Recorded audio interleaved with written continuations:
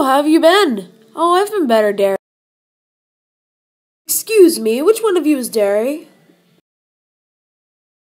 What are they talking about? I. What did he say?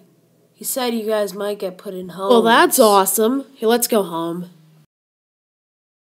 Hey, Joe. Oh, right. Hey, where are you guys going? Me and Soda. Two bit, where are you? Right here.